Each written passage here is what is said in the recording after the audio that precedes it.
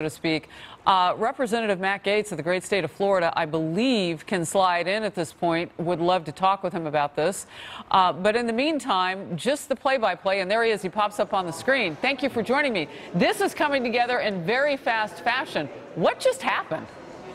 Well, I think that we saw the Speaker of the House uh, reflect the views of the membership of the House, that we would like to see a more robust fight to deliver on the president's agenda for border security. And so I'm glad that colleagues like Jim Jordan and Mark Meadows were over encouraging the president to stay strong and stay tough. In the House, we can pass $5 billion for the wall. I think we should prove it to the press and to the liberals and to the American people, send that border security package back over to the Senate, and see if it's the Senate's priority to protect the American people from the threats of illegal immigration and drugs and human trafficking, or whether they just want to keep doing what Washington always does kick the problem down the road, keep doing things the same way we've always been doing them for, a, for the next few months. I'm tired of that, Harris. This president was sent here to make changes, and I'm proud that even on the eve of Christmas, he's still trying and still fighting, and we ought to have his back. We know that the president has said that he regretted, and I was anchoring that day when it happened. I saw the tweet, and he did his news conference and the whole thing. I'm going to come out and I'm not signing the omnibus bill.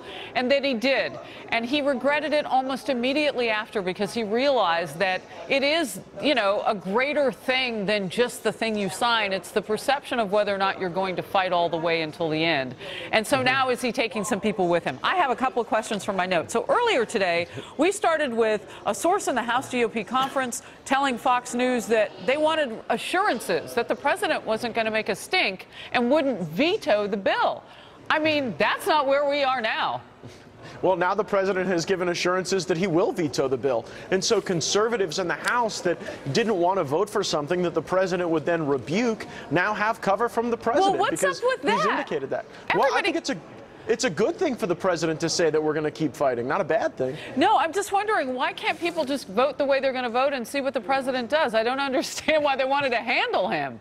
Well, it's, it's, it's good to have situational awareness as to where the leader of our party is because, uh. in my limited experience here, nothing in Washington ever happens without presidential leadership.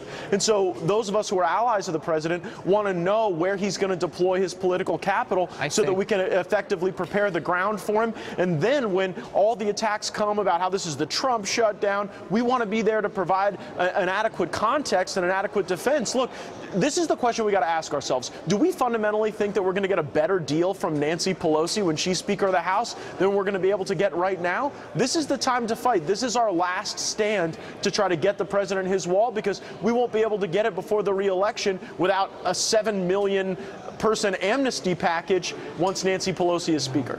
You bring her up. She told the president in the White House uh, a couple of weeks ago, it's been now, uh, oh, you don't have the votes to go forward on your 5 billion for the wall. And then we started seeing some Republican members of the House go home. Can you talk to me about that? And what happens? Do they do they come back? What what, what is the plan at this point?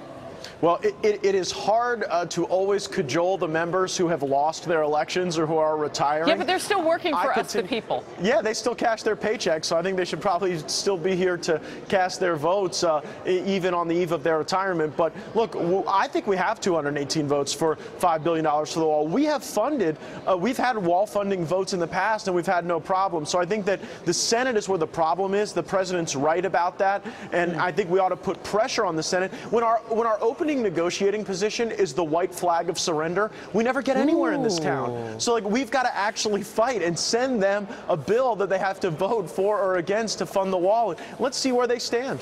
So Senator Cassidy was on with me a few minutes ago, and, and he agreed with you and thinks he can go forward, but you still need those 10 Democrats, and it's the end of the year, and we're up against it again. However, the paychecks, we're still in that next pay period until December 28th, John Roberts recorded, uh, reported earlier. So do you have enough time to get something done now that Republicans are going back to the drawing board?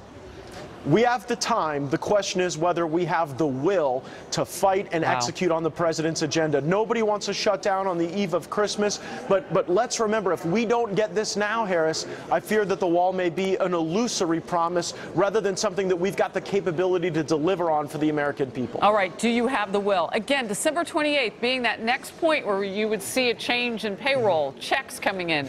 You have time conceivably from the Schumer shutdown because that only happened for a day or so. You You've got time to shut it down and move on. Does that happen? It could. I think it's very reasonable the president could come out and say, look, we're going to open the government in January, one way or the other, but I don't care if every senator and, and congressman uh, has to cancel their Christmas. We're going to stay here, we're going to work, and we're going to make sure that we give every effort to delivering on this promise that not only the president made, but that many Republicans made when we were before our voters. And so I think the president could conceivably say, nobody's going home, everybody's staying to work. We will reopen the government in January, so there's an end game. But until that time, I don't think we've seen our best effort in Congress yet. Sometimes we do our best work when the expectations are lowest, and they're pretty low right now, Harris. You used a word for those Republican uh, House members who've gone home who are now facing, well, I didn't get reelected retirement. You said cajole. Now is it corral? Real quickly. Will they come Corral, back? cajole, convince, whatever we have to do, uh, we got to get the votes here to execute on the president's agenda. Well, on this Thursday, we are someplace we never thought we would be with President Trump now uh, sending those House members back to the drawing board. Thank you for being with me for the breaking news. Congressman Matt Gaetz of the great state of Florida. Thank you.